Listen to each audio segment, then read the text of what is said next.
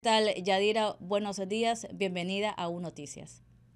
Muy buenos días, Stephanie. Qué gusto estar con los oyentes y con todo el país informando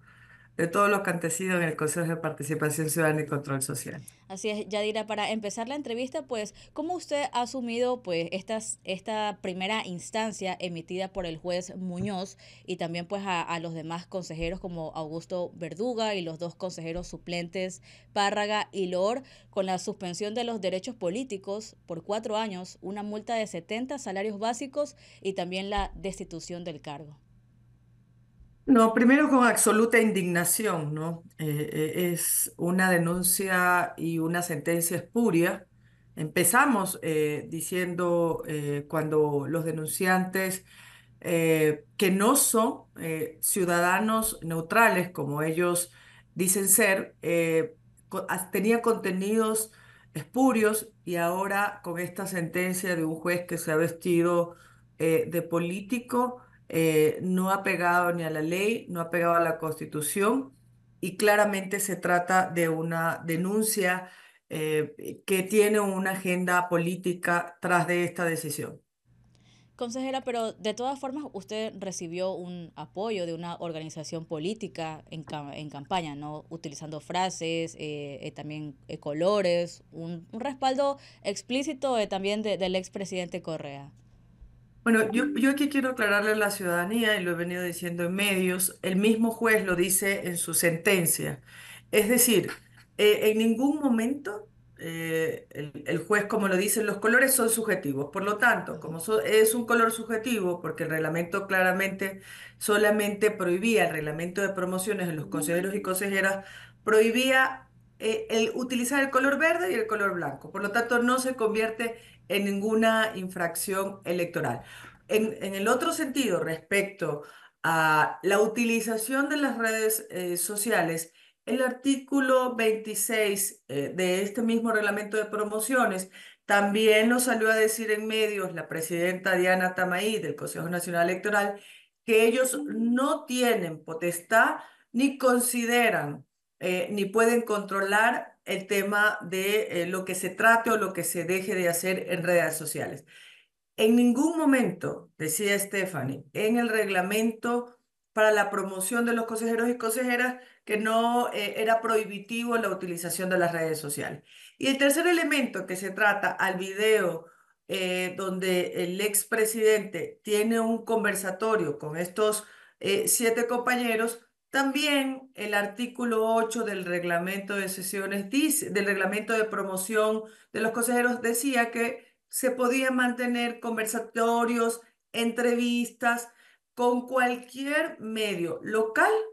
o en su defecto con cualquier medio digital eh, o cualquier líder que considere que se dedica a las redes a hacer conversatorios. Aquí lo que sí es cierto es que esta es una, esta es una decisión eh, absolutamente política y además es una decisión eh, que carece eh, en- bajo ningún sentido, es absolutamente desproporcional porque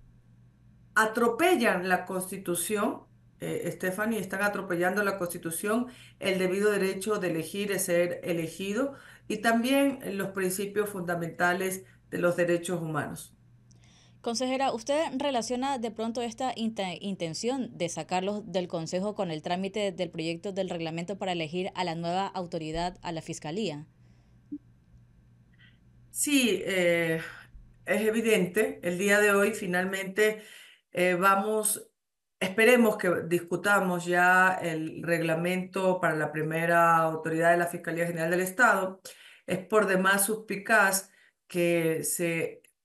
eh, que además alguna senten- en una sentencia en el tiempo donde no solo estamos discutiendo este reglamento, sino también se activaron ya los- el concurso para la designación de los miembros del Consejo Nacional Electoral. Es por eso que estoy convencida de que es una decisión política, porque a partidos como Construyes, que sabemos que está detrás de esta decisión, del mismo gobierno, pues no les interesa que eh, nosotros, y cuando me refiero a nosotros, tanto el consejero Verduga como la consejera que les habla, pues estemos constantemente argumentando y debatiendo en el Pleno, en el Consejo, que no se tiene que hacer tal o cual cosa como en el mismo reglamento que ahora pretenden querer aprobar eh, con, eh, metiendo claramente la mano, queriendo meter la mano al concurso en caso de que se apruebe ese reglamento, porque incluso, Stephanie, una de las cosas que yo había solicitado constantemente es que no se contrate ni se compre ningún software para la, eh, para la calificación de méritos. El día de ayer yo he recibido un documento que nuevamente insisten en esa compra de ese software eh, porque ya el Consejo cuenta con un software. ¿Cuál es, eh, cuál es el objetivo, Stephanie, de querer incluir en un reglamento la compra o el desarrollar un software para la calificación de méritos, cuando sabemos que eso lo único que puede llevar es mucho tiempo y definitivamente lo que necesitamos ya es renovar esa primera autoridad de la Fiscalía General del Estado. Bien, consejera, ustedes también ya, ya presentaron pues formalmente el pedido de ampliación ante esta sentencia del juez Muñoz. ¿Cómo piensan enfrentar este, esta situación? En el caso específico de Yadira Saltos, eh, Stephanie definitivamente no solamente va a ir a las instancias eh, nacionales, si fuera posible, eh, voy a acudir a las instancias internacionales a pesar de que eh, estoy convencida de que en esta segunda instancia, que ya después de la ampliación corresponde eh, de la, eh, vamos a hacer la apelación y este segunda instancia que corresponde a cinco jueces que van a tener que revisar exhaustivamente esa primera sentencia, que es totalmente desproporcionada, además que pisotea cada una de las normas constitucionales y no puede quedar ese tipo de precedentes para el país de un atentado absoluto y una burla contra la democracia. Por lo tanto, convencida de que eh, esto segundo, esta segunda instancia, los jueces puedan archivar la causa o, en su caso incluso la pueden modificar, pero no así una sentencia que no, eh, que no cabe y que eh, tiene pues una un tinte eh, político por donde quiera que se la mire, ¿no? Consejera, ¿estas acciones la presentaron de forma individual o colectiva? La presentamos de forma individual. El día de ayer ya ha llegado un documento en horas de la noche, muy tarde, eh, respondiendo respecto a la, al pedido de ampliación. Entiendo que los jueces incluso han respondido de forma eh, colectiva, sin embargo, nuestro, nuestro pedido fue de manera individual. Lo mismo va a pasar en, la ampliación, eh, perdón, en la apelación, va a ser de forma individual. Veamos cómo nos responde los jueces electorales, pero aquí eh, la ciudadanía tiene que estar atenta porque hay un atentado contra, no solo contra la democracia, sino contra la, contra la mal llamada justicia electoral esperando que las cosas en segunda instancia eh, sean en función de la ley, de la constitución, eh, apegado no a derechos particulares, sino ya apegados a, lo que yo siempre he dicho, a, ese llamado social, a ese llamado de todo un país que nos eligió en las urnas, en mi caso como la mujer más votada, con casi dos millones de votos. Así es que eh, esperamos que no se atente contra ese principio democrático donde mañana esta, esta acción, Stephanie, es un eco del futuro importantísimo, donde puede dejar quedar precedentes que cualquier eh, autoridad elegido en urnas, eh, simplemente los jueces del Tribunal Contencioso Electoral puedan actuar de manera eh, no apegado a la ley, sino a intereses propios particulares.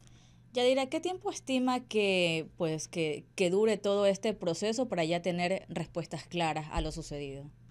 Bueno, eh, este proceso es un proceso que puede tomar, no tiene eh, tiempo estipulado en la ley, así es que en la apelación podría suceder tres días, como acaba de pasar en, la, en el pedido de ampliación, como puede pasar 30 días, 15, 20, los días que los jueces consideren necesarios para poder eh, revisar la sentencia y poder tomar la decisión apegada a la ley.